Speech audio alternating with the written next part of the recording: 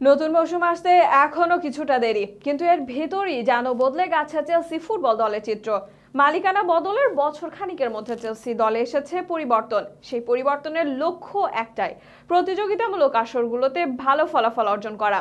আর তার প্রস্তুতি হিসেবে লিগ শুরুর আগে ফ্লোরিডা কাপে নামছে চেলসি রেক্সামের বিপক্ষে সেই ম্যাচে চেলসি তাকিয়ে থাকবে সিলভা এঞ্জোদের উপর। এই ম্যাচ নিয়ে বিস্তারিত থাকছে সিফাতুল ইসলাম তানিমের লেখা প্রতিবেদনে।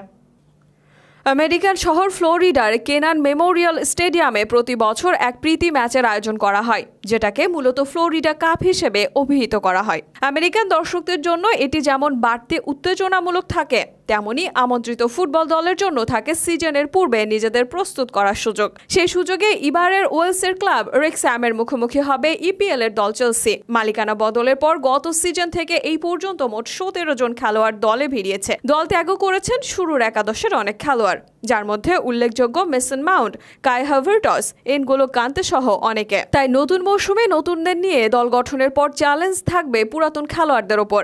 এই মুহূর্তে চেলসির অধিনায়কত্ব পড়বে থিয়াগো সিলভার ওপর সাঁত্রিশ বছর বয়সে সিলভার ওপর অনেকটাই চেয়ে আছে চেলসি সমর্থকরা।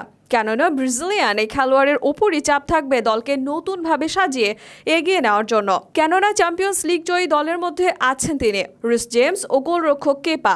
তাই তুলনামূলক নতুন দলকে জেতার মন্ত্র উজ্জীবিত করে এগিয়ে নেওয়ার দায়িত্ব তার কাঁধে পড়বে। চেলসিতে আর্জেন্টাইন এঞ্জো ফার্নান্দেস এসেছেন এক সিজন হয়েছে। এখনও চেলসির জার্সিতে খুব বেশি ম্যাচ খেলার সুযোগ হয়নি তার। তবে একশো মিলিয়নের অধিক দামে কেনা এই আর্জেন্টাইনের ওপর প্রত্যাশা ও চাপও থাকবে বেশি।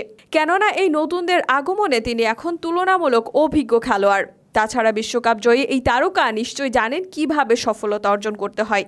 সব মিলিয়ে মাঠ ও মাঠের বাইরে এই সিজনে গুরু দায়িত্ব পালন করতে হবে আর্জেন্টাইন এই মিডফিল্ডারকে। সিলভা এনজোদের প্রথম অ্যাসাইনমেন্ট পড়বে ফ্লোরিডা কাপের ম্যাচে। ওয়েলসের দল রেক্স্যাম নামে ভারে অনেক দুর্বল। এই ম্যাচটিও প্রি সিজনের একটি ম্যাচ মাত্র। কিন্তু তারপরও নবাগত চেলসিকে পরও করার জন্য একটি বড় মঞ্চ এই ম্যাচ।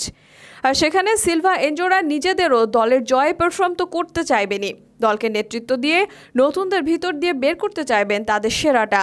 তবেই হয়তো গত সিজনের ব্যর্থতা কাটিয়ে নতুন করে ঘুরে দাঁড়াতে পারবে চেলসি। নতুন দল নিয়ে নতুন আসার পতাকা ওড়াবে তারা।